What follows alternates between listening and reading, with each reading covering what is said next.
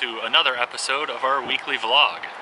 This week we are in Savannah, Georgia for actually the next two weeks and we just spent four months in Florida and it is nice to be in a different state. It's actually a little bit cooler here, which is also very welcome after, you know, we enjoyed the heat, but it's nice to put on a sweater. Put on a sweatshirt today and we're right on this lake, which is amazing. And the pine trees smell so good. It's just nice to be in a different climate, I suppose. and we're not that far from where we were. We're only about two and a half hours from St. Augustine, but the terrain changed quite a bit, which is nice. Well, we're about to go off exploring Jekyll Island, so let's go. Yeah, there's a driftwood beach there, which should be neat.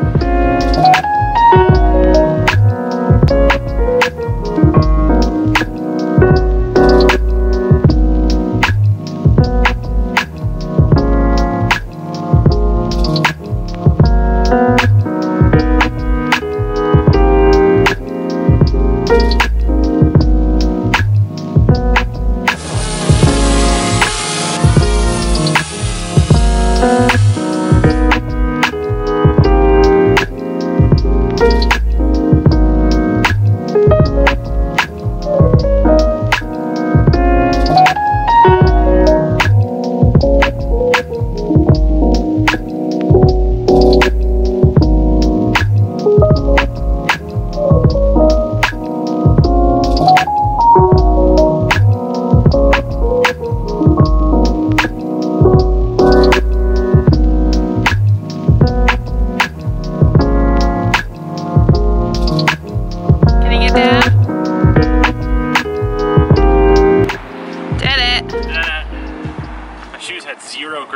that thing, so I didn't want to come back down the same way because uh, I'd have eaten, it.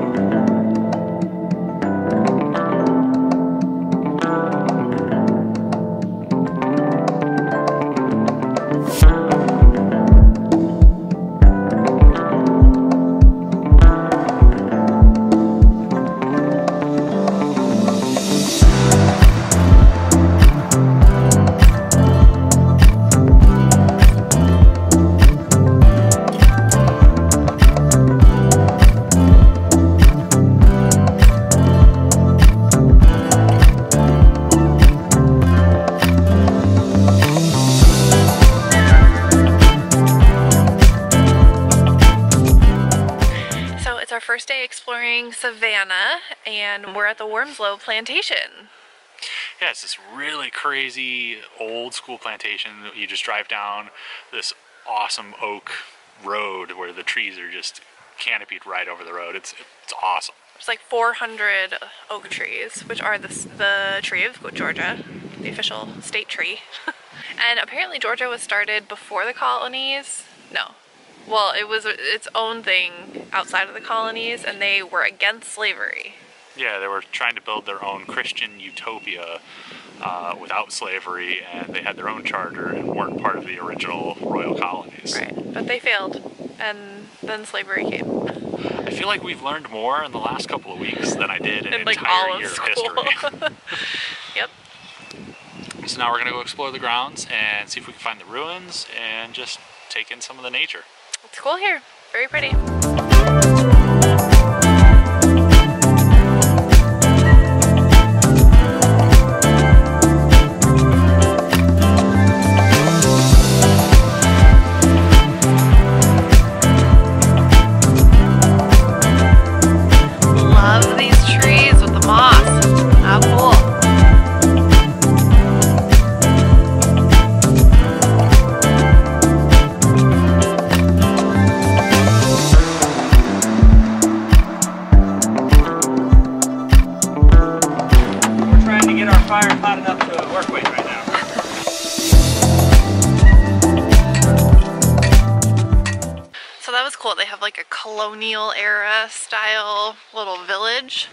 And they have actual people like doing old legit blacksmith.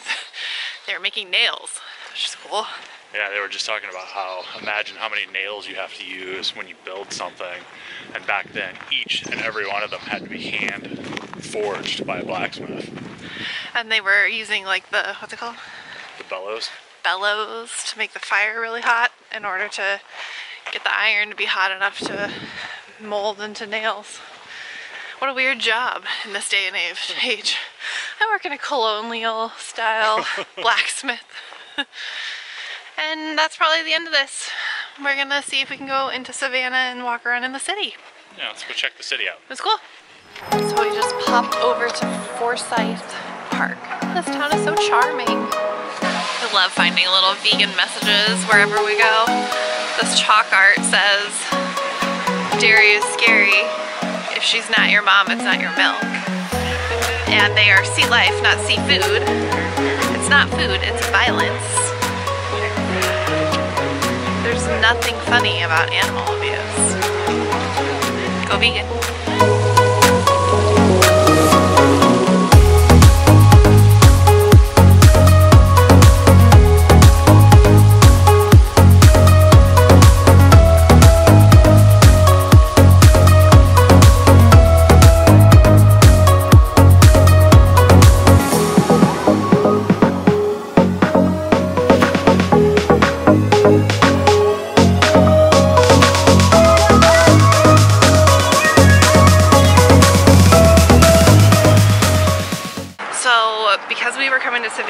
We just watched Midnight in the Garden of Good and Evil last night.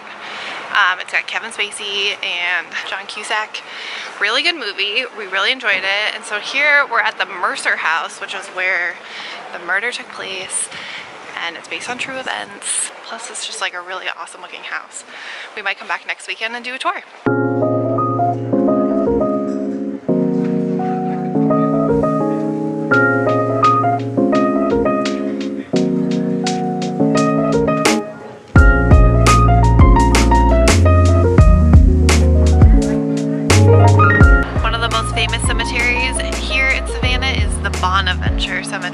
So we came to check it out. It's very pretty.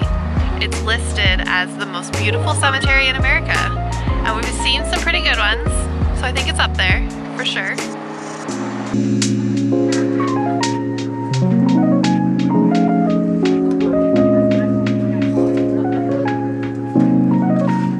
It's Aaron's birthday! Birthday boy! I am 36 years old today. Old man. Old man. Getting up there.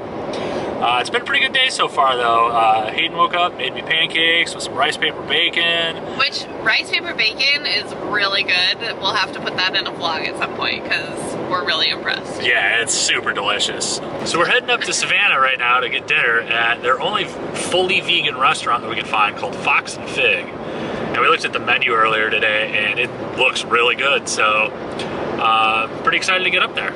We love food. It's our favorite. It is our favorite.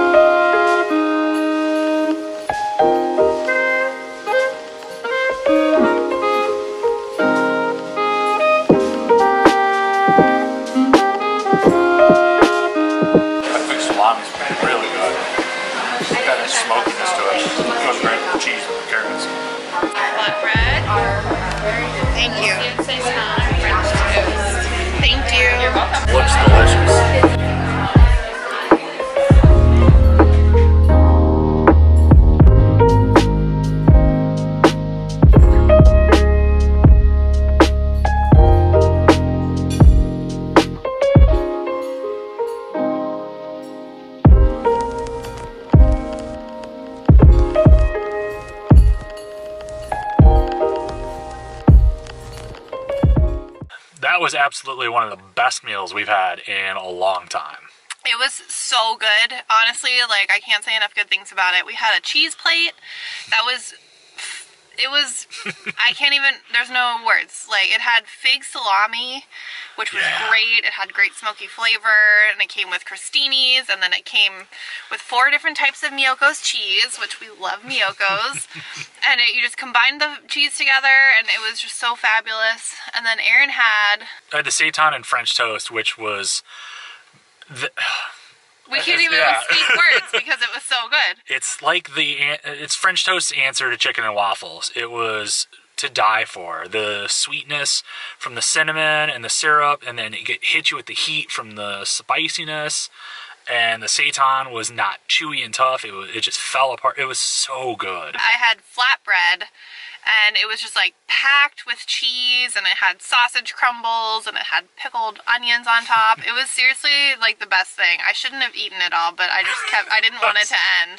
That's where I'm at right now. I didn't want it to A end. little too full, but of course we uh, we brought home tiramisu cake too. So Birthday cake. can't wait to try that. Yeah, we needed like to give our stomachs a minute because we just ate all the foods. But oh, Fox and Fig in Savannah. It's the first all vegan restaurant, the only all vegan restaurant here in town. They've only been open four months. I planned on talking to you while we were eating, but it got packed and um, pretty loud in there. So, which is great. You know, we love seeing vegan establishments succeed and thrive. So, Yeah, congratulations, folks.